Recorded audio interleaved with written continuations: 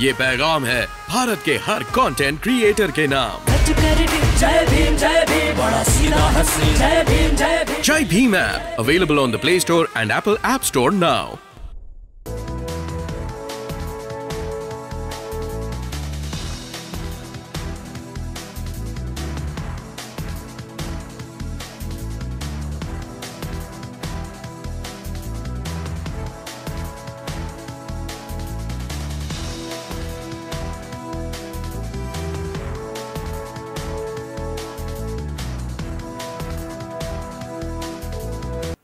आदरणीय मंच और मेरे दोस्तों, आजकल कुछ शब्दों को बोलने से मुझे डर लगता है तो नहीं बोलता हूँ। मित्रों बोलना डर लगता है, भाइयों बहनों बोलना डर लगता है तो संभल के बोलना पड़ता है। खासकर हमारे जैसे लोगों के लिए तो वो और भी ज़रूरी है, क्योंकि हमारा थोड़ा सा बैकग्राउंड अलग है। और इन तमाम वजहों से बैकग्राउंड क्या है मैं बाद में बता दूँगा। पता चल जाएगा आप लोग को। मेन बात है कि आज एक बड़ी खास बात है। एक तो चौदह अप्रैल का अवसर है। साथ में हमारे मुस्लिम भाई बहन अपने रोज़े पे हैं। और साथ ही क्रिश्चियंस का आज मॉन्टी थर्सडे है। कल गुड फ्राइडे है और उसके दो दिन के बाद में ईस्टर है। मॉन्टी थर्सडे ऐसा माना जाता है कि यीशु मसीह अपने बारह चेलों के साथ में अंतिम भोज जो है आज के दिन करते हैं और आज ही की रात में उनको गिरफ़्तार किया जाता है रोमी सेना के द्वारा। ऐसा शायद बहुत कम होता होगा कि अंबेडकर जयंती, रमज़ान और ये लेंट का पीरियड एक साथ आते हैं। तो मुझे लगता है कि ये बहुत महत्वपूर्ण एक अवसर है कि हम इस प्रकार की एक चर्चा को करते हैं। इससे क्या अच्छा ज़्यादा होगा कि हम बाबा साहब अंबेडकर के जन्म उत्सव के संदर्भ को हम एक राष्ट्र निर्माता डॉक्टर अंबेडकर के रूप में हम उसको कन्वर्ट करना चाहते उसको परिवर्तित करना चाहते हैं। लेकिन मैं थोड़ा सा कुछ सवाल रखना चाहूँगा। शायद मुझसे पूर्व में जो वक्तागण जो बातें बोले हैं, उससे थोड़ा सा भिन्न है ये। ये मुझे नहीं मालूम है। मैं अभी एक हमारे छत्तीसगढ़ में पूरा बस्तर का एक इलाका है तो मैं बस्तर के इलाके का एक फैक्ट फाइंडिंग इन्वेस्टिगेशन टीम को लेके वहाँ गया और उसका एक सप्ताह तक इन्वेस्टिगेशन करके मैं जहाँ से आया हूँ। जहाँ एक अभियान चल रहा है, बहुत गंभीर रीति से एक अभियान चल रहा है, विशेषकर वो उन लोगों को जो जो टारगेट करके ये अभियान चलाया जा रहा है, जो एक समय में जो अपने आप को हिंदू लिखते थे, वो अब अपने आप को ईसाई बोलते हैं। उनको टारगेट करके एक अभियान चलाया जा रहा है, जिसका नाम है घर वापसी। आप में से कुछ लोगों ने सुना होगा इस इस नाम को, इस शब्द को सुना होगा, घर वापसी। इससे पहले मैं कई सारे फैक्ट फाइंडिंग में रहा हूँ। मैं कई सारे फैक्ट फाइंडिंग में देश के अलग अलग इलाके में गया हूँ। तीन चार फैक्ट फाइंडिंग के छोटे छोटा मैं संदर्भ को रखता हूँ, अपनी बातों को शुरुआत करूँगा। पहला चीज़ है कि लव जिहाद। ये शब्द हम दस साल पहले नहीं सुने थे, लेकिन आज आए दिन हम सुनते हैं लव जिहाद। दूसरा शब्द है बीफ ईटिंग गौमांस के खाने से उत्पन्न होने वाली क्या बड़ी समस्या है? तीसरा है गोरक्षक। हमारी सारी सड़कों पे गाय घूमती रहेंगी, लेकिन गोरक्षक अपना काम करने का दावा करती है। चौथा है घर वापसी, जिसके बारे में मैंने ज़िक्र किया। मैं ये बातें इन संदर्भ में रख रहा हूँ, जब हम अंबेडकर को, डॉक्टर बाबा साहेब अंबेडकर को एक राष्ट्र निर्माता के रूप में हम स्थापित करना चाहते हैं और इसके सामने के हमारे चैलेंजेस क्या है? चुनौतियाँ क्या है? यदि आप सोचते हैं कि ये रास्ता बहुत आसान है तो ये उतना आसान नहीं है। मैं इसको शुरुआत में ही बोलना चाहता हूँ।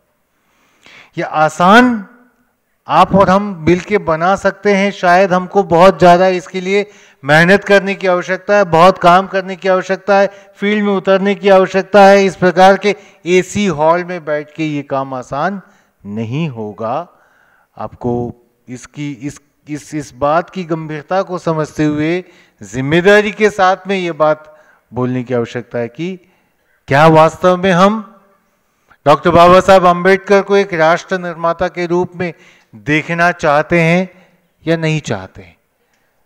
देखना चाहते हैं तो मुझे नहीं मालूम है से आप आप में से कितने लोग उसके लिए काम करने के लिए तैयार हैं।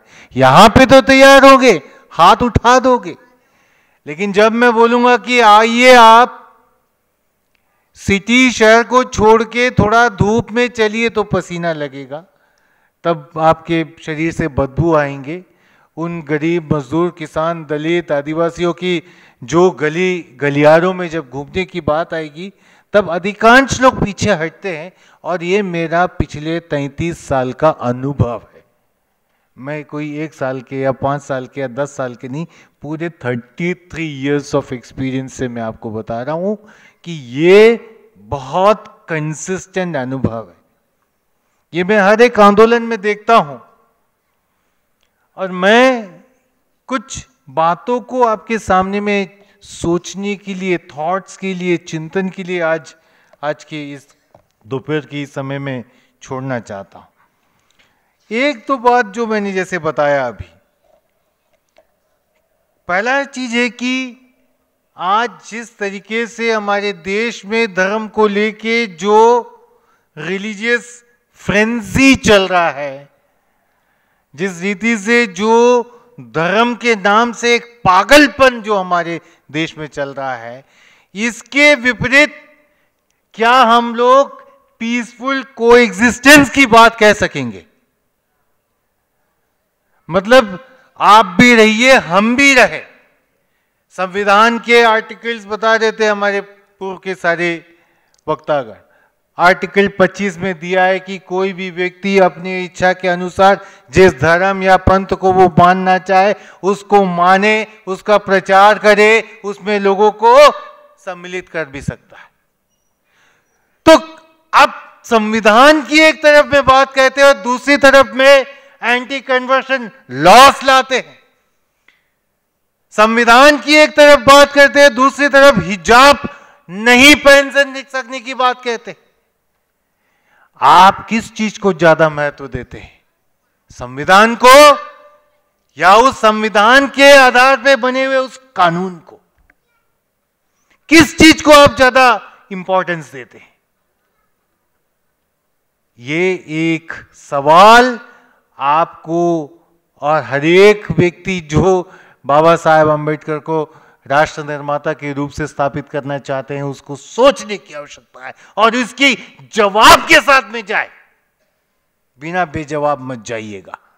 खाली अंबेडकर को एक राष्ट्र निर्माता के रूप से घोषित करके एक नए भगवान की सृष्टि की आवश्यकता नहीं है। तैतीस कोटि ऑलरेडी है। तैतीस कोटि यहाँ पे है। तैतीस कोटि एक की आवश्यकता नहीं है। Please be very sure. Why do you want to make a strong position that Dr. Ambedkar is one of the craftsmen of this, or rather, the founding father of, of, of the of, of you know the nation building process of India. इसकी जवाब आपको आप, आपको जब तक नहीं मिलेगा तब तक आप नहीं जाइए दूसरा एक चीज है the dream project doctor Ambedkar का dream project that was annihilation of caste annihilation of caste क्या है खाली वो किताब नहीं है। जात पात तोड़क मंडल के लिए लिखा गया, वो भाषण नहीं है, जो बाद में किताब बन गया है। That was a project he wanted to see India beyond idea of caste caste के बिना। Now what are we talking about caste के बिना का मतलब क्या है? खाली जाति वो वर्णाश्रम धर्म के आधार में ही सीमित करके समझे जाने वाले एक व्यवस्था है। या डॉक्टर अंबेडकर ने जात को केवल उस वर्णाश्रम के सीमा के अंदर में ही देखा या समझा? या उसके बाहर बाहर भी समझा? या बाबा साहब अंबेडकर ने why is bringing the idea of caste because discrimination को वो एड्रेस कर रहे हैं. He addressing he is addressing the the whole notion of discrimination. भेदभाव, विवेचना, और उसको तोड़ने की बात कह रहे हैं. चाहे वो हिंदू धर्म को ही तोड़ने की बात क्यों ना बाबा साहब ने बोला है. हिंदू धर्म जब तक रहेगा तब तक जो है यह समानता है कि सीढ़ियाँ बनी रहेगी. तो सवाल यह है कि जो एंटी कास्ट मूवमेंट की जो बात है या एनाइलेशन ऑफ़ कास्ट की जो बात है, वो केवल जाति व्यवस्था को तोड़ने से ही नहीं होगा, आर्थिक समानता को भी तोड़ने की आवश्यकता है, स्त्री पुरुष के भेदभाव को तोड़ने की आवश्यकता है, और अलग अलग जो भाषाई भेदभाव की जो बात है, उसको तोड़ने की आवश्यकता है। तो caste class linguistic differences patriarchy all forms of indifferences all forms of जो तमाम प्रकार के जो भेदभाव के जो स्वरूप है, उसको तोड़ने की बात कहाँ है हमारा एंटी कास्ट मूवमेंट कहाँ है आज हमारा हमारा जो एनिलेशन ऑफ़ कास्ट का प्रोजेक्ट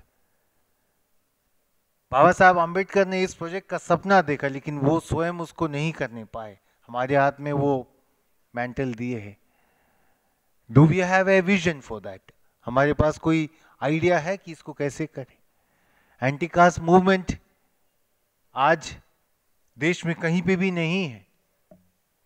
देश में कहीं पे भी नहीं है का मतलब यह है कि देश ने कभी एंटी कास्ट मूवमेंट देखा ही नहीं है। कुछ लोग पूछ सकते हैं कि मैं क्या बोल रहा हूँ। आज तक जो हम लोगों ने देखा है making a very honest valid and conscious statement बहुत ही ज़िम्मेदारी के साथ में एक स्टेटमेंट में बोलने जा रहा हूँ। ध्यान से सुनिएगा। आज तक जो हमारे देश में हमने देखे हैं, वो एंटी अपर कास्ट मूवमेंट है। We have not seen anti caste movement in this country we have only seen anti upper caste movement in this country आप एंटी अपर कास्ट मूवमेंट को एंटी कास्ट मूवमेंट की ओर कैसे convert करेंगे that's the third challenge. The fourth challenge is the miss bus. जिन मुद्दों को आज से 30 साल पहले यहाँ के मूल निवासी शेड्यूल कास्ट शेड्यूल कास्ट शब्द मुझे पसंद नहीं है क्योंकि मैं इसके बारे में फिर कभी आपसे बताऊँगा। It is as simple as equal to the term Harijan it is not a term form by Ambedkar Baba Saheb Ambedkar ने इस टर्म को नहीं दिया है it is appeasement term use by the British bureaucratic is a long story behind it फिर कभी हम इसके ऊपर बात करेंगे। सो so, जो the whole idea is that कि आप कैसे एक मूवमेंट को कन्वर्ट करेंगे?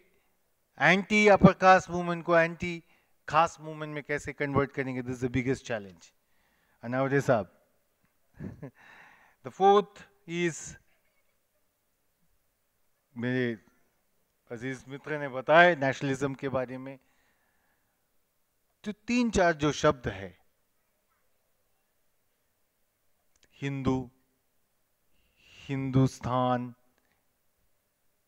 हिंदू, हिंदी, हिंदुस्तान और हिंदू धर्म, हिंदुत्व।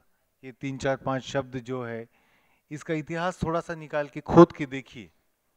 ये आपको डेढ़ सौ, एक सौ सत्तर साल से पुराना नहीं मिलेगा। ये उस समय का काल में मिलेगा जब बहुत सारी चीज़ पैरेलली चल रहे थे। बंकिम चंद्र चट्टोपाध्याय के द्वारा जो आनंद मठ लिखा गया था उसके आसपास का ही इतिहास है ये। तो ये जो ये जो ट्रेंड जो है ऐसा नहीं है कि कोई 2000 साल पुराना है।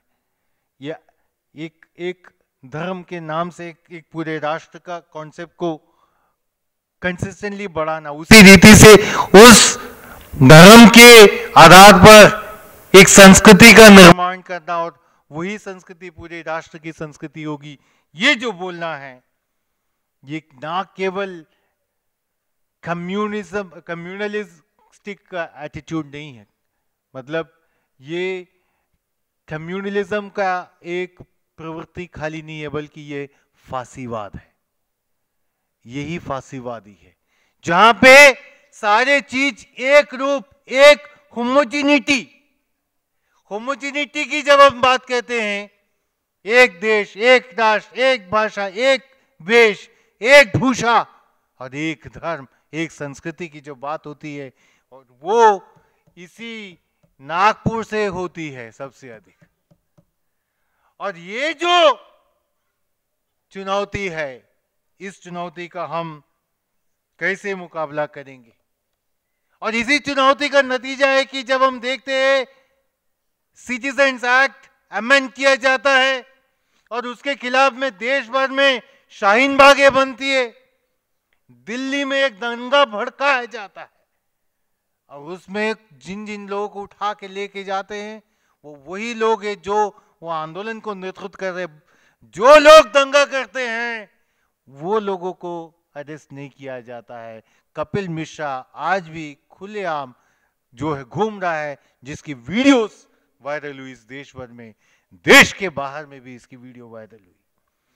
उसी रीति से अगर हम देखेंगे थी जब हम अलग अलग अलग अलग जो धर्मों की जब बात कहते हैं तो दो धर्म के ऊपर में सबसे ज़्यादा हमले होते हैं। एक है मुसलमान और दूसरा है ईसाई। मुसलमानों के साथ में हमला होने से मुस्लिम लोग उल्टा जवाबी हमला करते तो वो रायत होता है, दंगा होता है। ईसाइयों के ऊपर में हिंसा होता है। खड़े हो गई है, मैं देख लिया, मुझे पता है। मैं भी थोड़ा स्मार्ट हूँ, ठीक है? अभी तीन मिनट और बचा है। मुझे मत धोखा दीजिए आप। मैं भी घड़ी पकड़ के बैठा हूँ। तो ठीक है, पढ़ाता हूँ तो मुझे मालूम है कि कब क्लास को बंद करना है। तो मैं कुछ बातें जो है जो आपके सामने में रखने का प्रयास किया कि the ways ahead the way forward is not easy या आसान नहीं है, बहुत गंभीर है, बहुत ही बहुत ही कठिन है और कठोर है। और इसमें अगर कूदना है तो ये बिल्कुल तैयारी के साथ में कूदना होगा कि भाई आग के साथ खेल रहे हैं आप। ये खेल आसान नहीं है। ये आग के साथ में खेल। है आपकी दृढ़ता ही बाबा साहब अंबेडकर को राष्ट्र निर्माता के रूप में स्थापित कर, कर, करने पाएगा। मेरे अंदर में मैं मानता हूँ ये आज से नहीं ये अनावरे साहब ने ये मीटिंग किया इसके लिए नहीं बोल रहा हूँ मैं। मैं इस देश के राष्ट्र निर्माता के रूप में तीन चार लोगों को मैं मानता हूँ। उसमें से एक डॉक्टर बाबा साहब आम्बेडकर ज़रूर है। मैं बताता हूँ उसका list. Mahatma Phule E V Ramaswamy Periyar doctor Baba Saheb Ambedkar Birsa मुंडा जयपाल सिंह मुंडा मैं इतने लोगों को मैं ज़रूर मानता हूँ कि ये राष्ट्र निर्माता है और ये राष्ट्रवाद का जो पूरा जो स्वर है, राष्ट्रवाद क्या है? ये आपको बाबा साहब अंबेडकर के माध्यम से इसको समझने की आवश्यकता है। जिसको उस राष्ट्र के लोगों के साथ में कोई प्रेम नहीं, इज़्ज़त नहीं, मोहब्बत नहीं, कोई कंसर्न नहीं नथिंग व्हाट इज़ राष्ट्रवाद? राष्ट्रवाद दिल से निकलता है, वो खाली तिलक लगा के, तराजू में तौल के, तलवार लेके चलने से नहीं होता है, बल्कि वो राष्ट्रवाद निकलता है, उस राष्ट्र की मिट्टी और उस मिट्टी की महक और खुशबू से निकलती है। वहाँ के लोगों के पसीने के साथ में जुड़े हुए उस गंदगी के गंध से निकलती है राष्ट्रवाद का समझ। और ये समझ अगर हमारे अंदर में जिस दिन आएगा उस दिन हम बाबा साहब को सही रीति से समझ नहीं पाएँगे। आप सभी लोगों ने बहुत ध्यान से मुझे सुना आ, इसलिए मैं आप सभी का शुक्रगुजार हूँ। आयोजक राष्ट्र चेतना प्रेरणा मंच को मैं बहुत सारी बधाई देता हूँ। और धन्यवाद देता हूँ कि उन्होंने मुझे यहाँ पे आमंत्रित किया। आप सभी लोग को बहुत बहुत धन्यवाद। जय भीम, जय फूले, जय संविधान। और आप लोगों ने जो नया नारा दिया वो क्या मुझे सिखा दो? मुझे ये वंदे शब्द से थोड़ा प्रॉब्लम है, फिर भी मैं बोलता हूँ, वंदे। धन्यवाद।